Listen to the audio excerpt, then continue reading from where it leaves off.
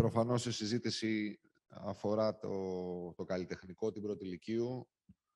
Ε, η ειδικότητα που προστίθεται στο έκτο ΕΠΑΛ συμφωνούμε να, να γίνει, η πρόσθεση αυτή.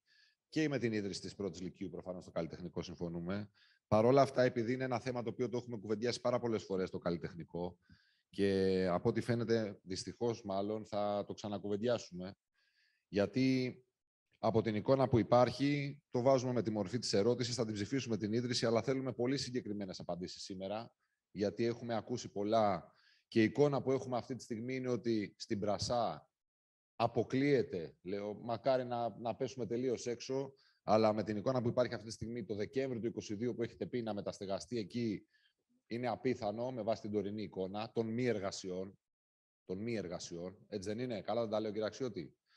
Ε, που σημαίνει ότι μια δέσμευση που είχατε δώσει στους γονείς που είχαν έρθει πριν από δύο μήνες περίπου, ε, φαίνεται ότι είναι πολύ μακριά από το να υλοποιηθεί, να το πω έτσι.